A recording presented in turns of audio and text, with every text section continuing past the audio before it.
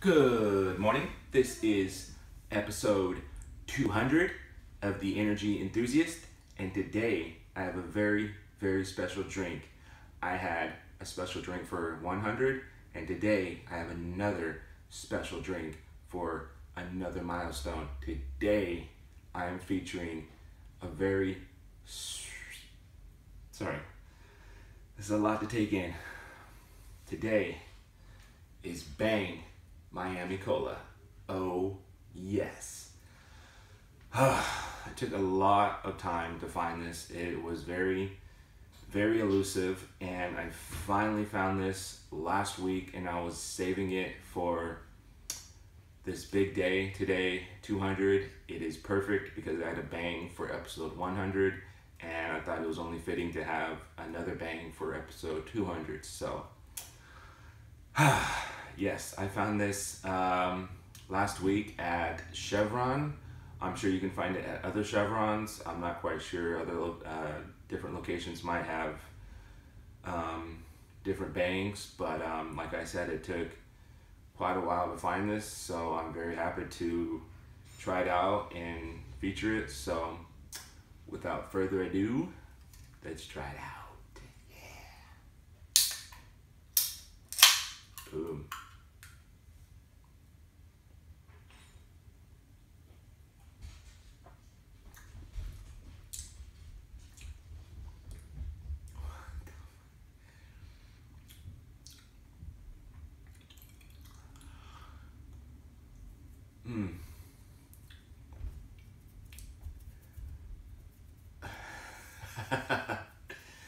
Man, it's, it's not it's not like bad or horrendous. It's certainly not, not as good as the champagne one I did for 100, but it's certainly not as bad as the birthday cake, that's for sure. Um, I might need to take another sip to clarify my stance, so.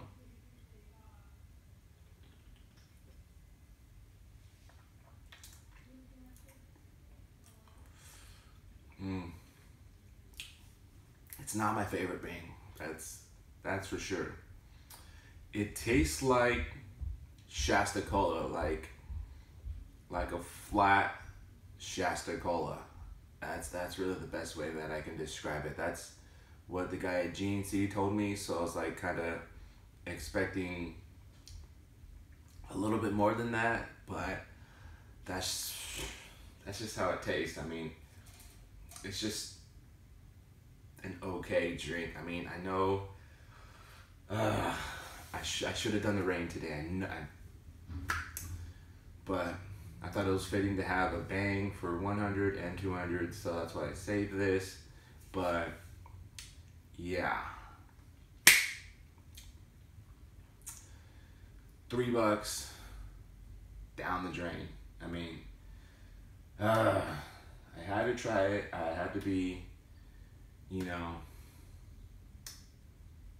updated with all the new drinks. So sorry for my lack of enthusiasm, but I was really, really looking forward to this. I mean, I, I, I know I sound like downtrodden right now, but like some parts of it are okay, but the rest is just like it's mediocre at best. I mean,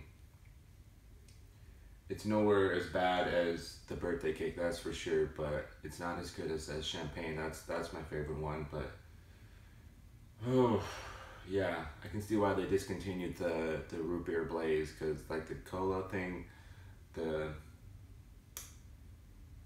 hmm. Yeah. C plus. Let's take one more sip.